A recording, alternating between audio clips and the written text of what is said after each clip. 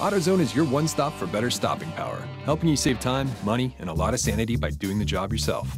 Now, to do the job right, you'll need the following tools, which can all be found at AutoZone, including a caliper compression tool and a torque wrench, which are both available through AutoZone's Loan a Tool program. Before you begin, you'll want to refer to the precautions section in your car's owner's manual for any special callouts or warnings. It's also a good idea to have a repair manual on hand to refer to during this job and any future jobs you decide to tackle. AutoZone recommends wearing safety glasses and gloves during your repair. And while not all new brake pads come with hardware, you can always pick some up at AutoZone. At any time, feel free to use the description section to jump ahead in the video. And while you're not changing your rotors today, now is a great time to check them for any irregular wear patterns or signs that they need to be replaced. Before you install the new, you have to take off the old. And while a 2000 Silverado 1500 is being used here, the same steps will help you with your vehicle. Now it's time to remove the wheels. Safety first. You always want to chalk the wheels that you're not working on. Check the owner's manual for factory-approved jack points. Then place the jack under one of the recommended jack points. Raise your vehicle just enough to take some of the weight off the wheel. The tire should remain touching the ground. Then, use a tire iron to loosen the lug nuts. You can use the tire iron that came with your car, or you can grab a Duralast tire iron from AutoZone as shown here. Raise your vehicle to the appropriate height, then place the jack stand under the vehicle, near where the jack is touching it. Once you have the jack stand in the appropriate place, slowly lower the jack until the vehicle is resting securely on the jack stand. Now, completely remove the lug nuts and take off the wheel.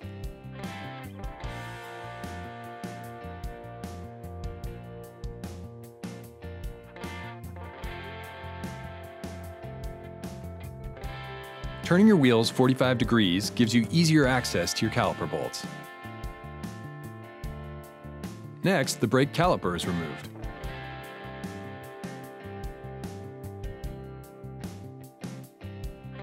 Before the caliper can be removed, the caliper piston might need to be pushed back to clear the rotor, and a flathead screwdriver or an angled pry bar tool is all you need. Next, remove the two caliper bolts from the back of the caliper. Most calipers last over 200,000 miles, but signs of brake fluid leaking, heavy rust, or piston binding could mean it's time to replace them. It's a good idea to inspect for signs of a problem during every brake job.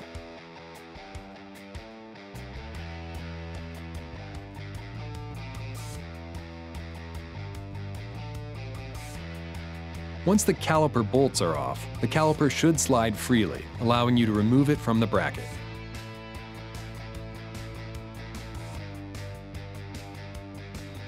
It's a good idea to hang the caliper out of the way with a hanger or bungee cord to keep the brake line safe and free from any stress or tension.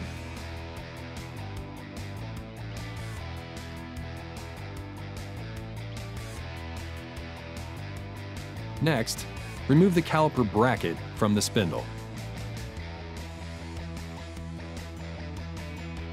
If the caliper bracket bolts are showing wear or rust, spraying on some penetrating oil or some brake cleaner will help with the removal.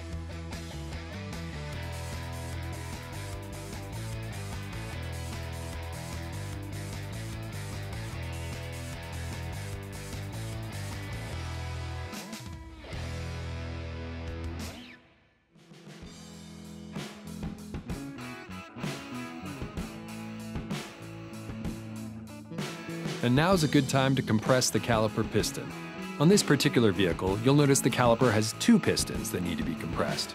And a caliper compression tool is going to make life easier, and you can borrow one from AutoZone, saving you from buying one or asking the neighbor for theirs. First, you'll want to compress the caliper piston that's farthest away from the bleeder valve. This helps ensure no brake fluid gets trapped inside the caliper piston. You want to keep the bleeder valve facing up to prevent air from getting in. Then, use your 10mm socket wrench to open the bleeder valve. This is what allows the brake fluid to come out. You'll want to use a brake bleeder kit or a drain pan to catch the brake fluid. Use the caliper compression tool to compress the piston until it stops, and then wait until all of the air bubbles have come out. Now, tighten the bleeder valve. and then you can compress the other piston.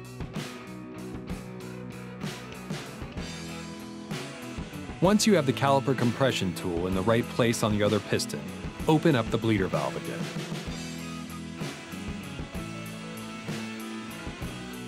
Now compress the second piston until it stops. Once all of the air bubbles are out of the line, be sure to tighten the bleeder valve before moving on to the next step.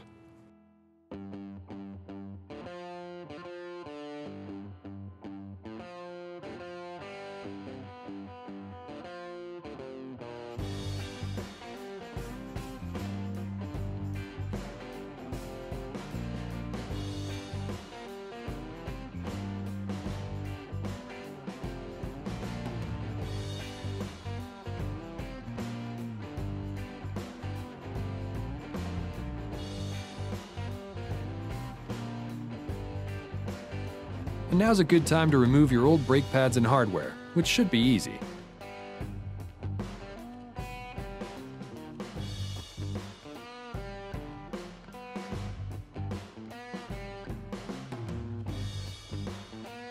Once you're done, take a good look at your rotor. Check for any uneven or irregular wear patterns.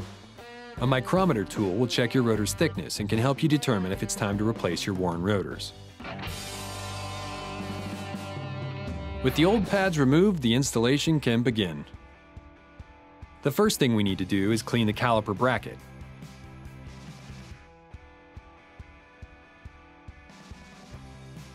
Use a wire brush to clean away any dirt or debris from the caliper bracket before installing new hardware and brake pads. Now, install the new brake pad hardware.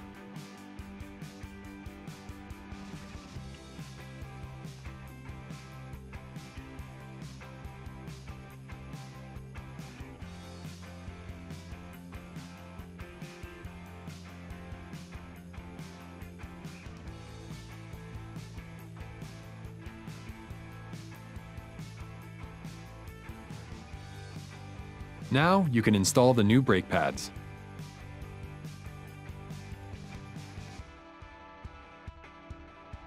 Now you'll want to apply brake caliper grease to your brake pads where the pads fit into the hardware.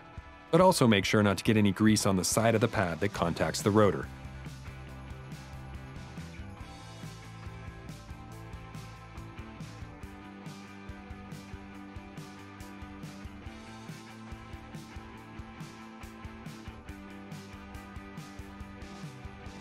Next, the caliper bracket is ready to be installed.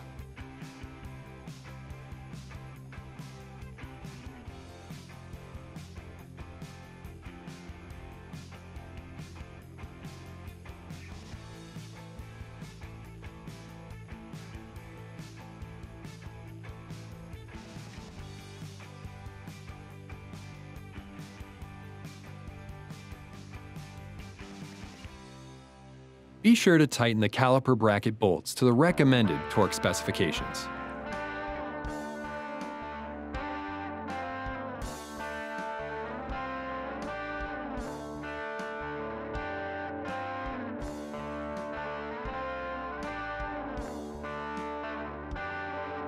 Before installing the caliper, make sure the brake hose didn't get twisted during any of the prior steps. The brake hose should be free of any loops or twists once installed. A twisted brake hose can obstruct the hydraulic fluid from applying pressure to the caliper. Before you reattach the caliper, it's a good idea to apply some brake caliper grease to the places that contact the back of the brake pads.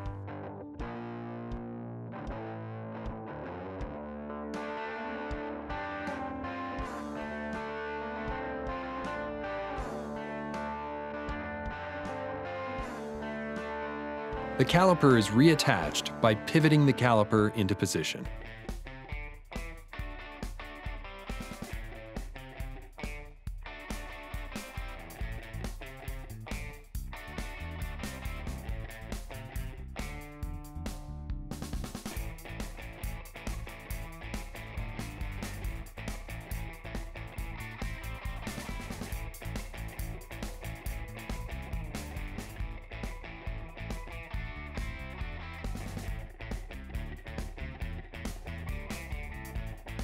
Now you can tighten the caliper bolts to the right specifications, which can be found in the repair manual.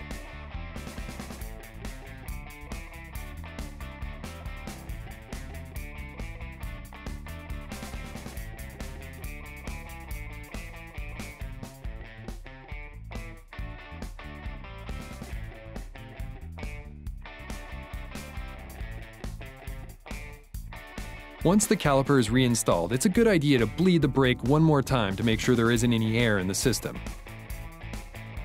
Then, tighten the bleeder valve with your 10mm socket wrench. Finally, it's time to throw the wheel back on. Be sure to straighten the wheel back out first.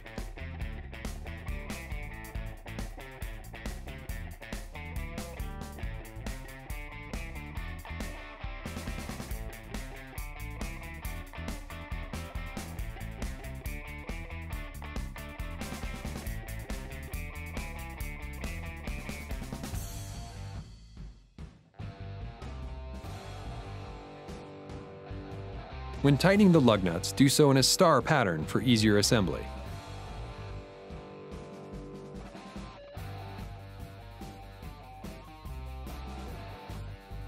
Now you can jack your vehicle back up enough to remove the jack stand.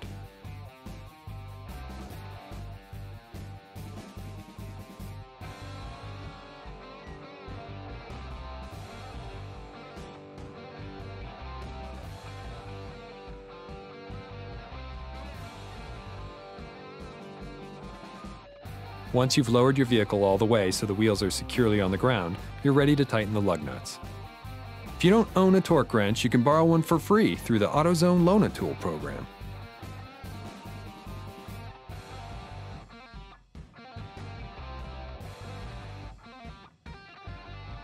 With the wheel back on, now you can follow the same steps on the other side of the vehicle. Before the rear brakes can be installed, the old ones need to be removed and you'll want to refer to the precautions section in the owner's manual before you begin. Next, this is where the wheels come off. But that's a good thing so long as you have the right tools. Safety first. You always want to chalk the wheels that you're not working on. Check the owner's manual for factory-approved jack points. Then place the jack under one of the recommended jack points. Raise your vehicle just enough to take some of the weight off the wheel. The tire should remain touching the ground. Then, use a tire iron to loosen the lug nuts.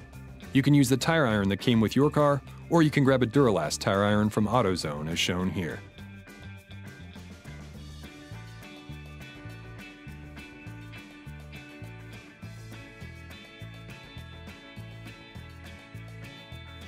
Raise your vehicle to the appropriate height, then place the jack stand under the vehicle, near where the jack is touching it.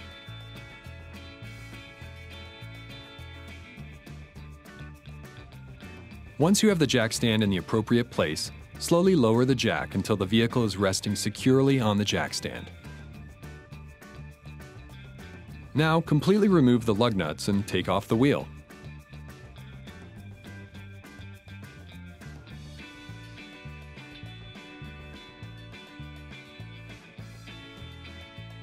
Next, the brake caliper is removed.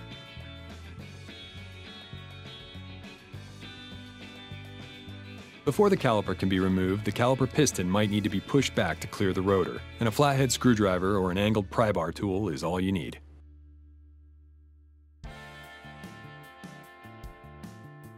Next, loosen the two caliper bolts on the back of the caliper.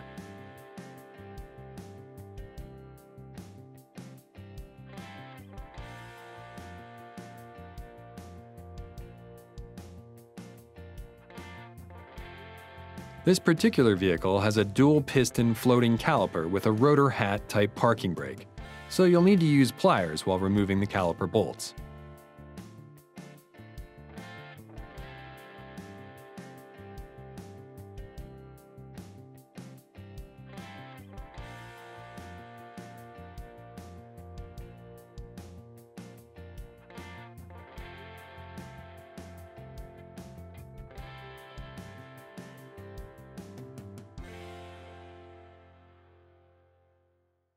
Once both of the caliper bolts have been removed, the caliper should be free to slide off of the caliper bracket. It's a good idea to set the caliper out of the way or use a hanger or bungee cord to keep the brake line safe and free from any stress or tension. Now it's time to remove the caliper bracket. If the caliper bracket bolts are showing wear or rust, spraying on some penetrating oil or some brake cleaner will help with the removal. Start by removing the two caliper bracket bolts.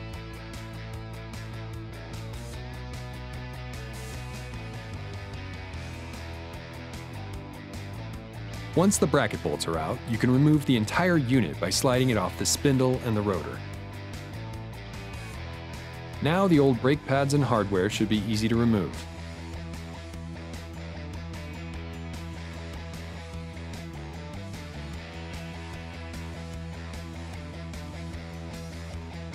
And now, with everything removed, it's a good time to compress the caliper piston. You want to keep the bleeder valve facing up to prevent air from getting in, and try to make sure no brake fluid gets on any painted surfaces. A caliper compression tool and an old brake pad will make life easier and help protect against damaging the caliper. And with the free AutoZone Loan a Tool program, you can borrow one without purchasing a new one for a single time use. Some bleeder valves may have a small dust cap to protect the valve. Make sure to remove the valve cap first. Then, use your 10mm socket wrench to open the bleeder valve. This is what allows the brake fluid to come out. You'll want to use a brake bleeder kit or a drain pan to catch the brake fluid. Use the caliper compression tool to compress the piston until it stops. Then wait until all the fluid is done coming out. When you're finished, make sure to tighten the bleeder valve back up.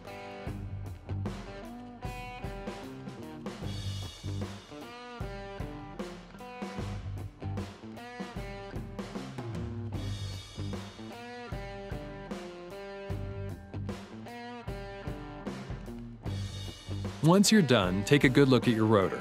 Check for any uneven or irregular wear patterns. A micrometer tool will check your rotor's thickness and can help you determine if it's time to replace your worn rotors. With the old pads removed, the installation can begin. First things first, let's clean the caliper bracket. Be sure to clean away any dirt or debris from the caliper bracket before installing new hardware and brake pads. Once cleaned, the caliper bracket is ready for action.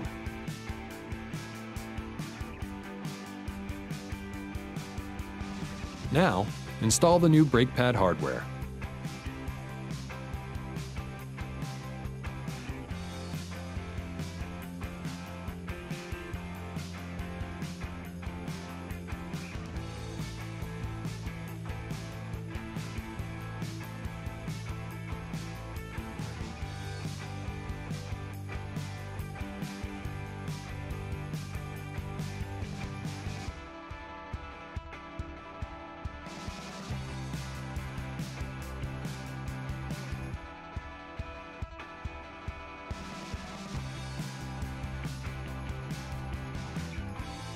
Once the new brake pad hardware has been properly installed, it's time to reinstall the caliper bracket.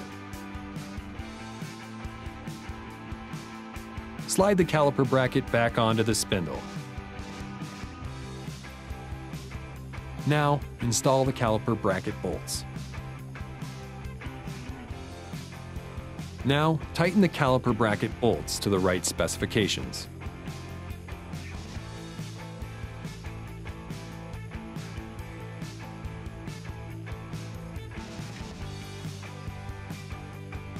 Now you can install the new brake pads.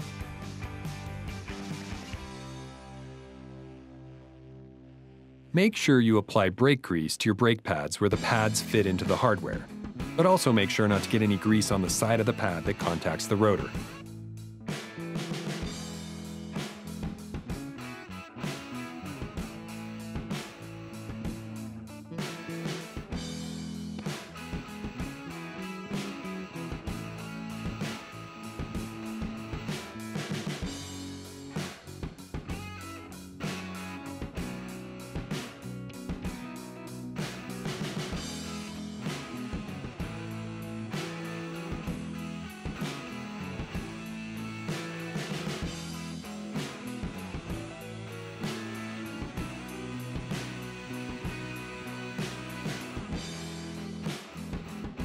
Before you reattach the caliper, it's a good idea to apply some brake caliper grease to the places that contact the back of the brake pads.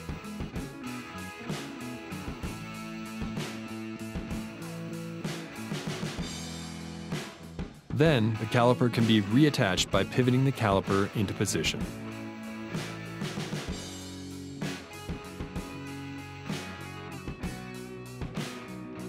And now you're ready to reattach the caliper bolts. It's also a good idea to grease the caliper bolts if they need it. Now you can tighten the caliper bolts to the right specifications, which can be found in the repair manual.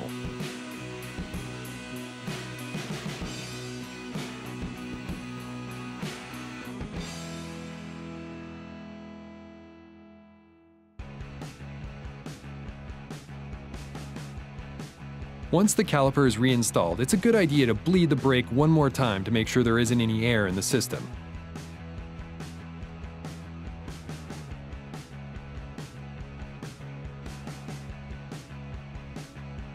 Then, tighten the bleeder valve with your 10mm socket wrench.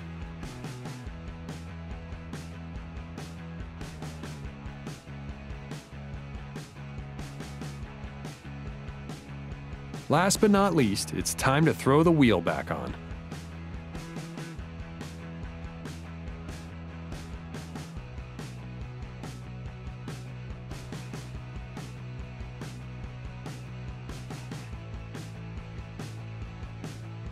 When tightening the lug nuts, do so in a star pattern for easier assembly.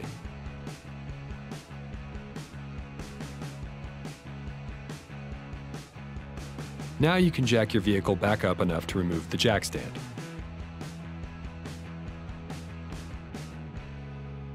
Once you've lowered your vehicle all the way so the wheels are securely on the ground, you're ready to tighten the lug nuts. A torque wrench can help and is available with the free AutoZone Loan a Tool program.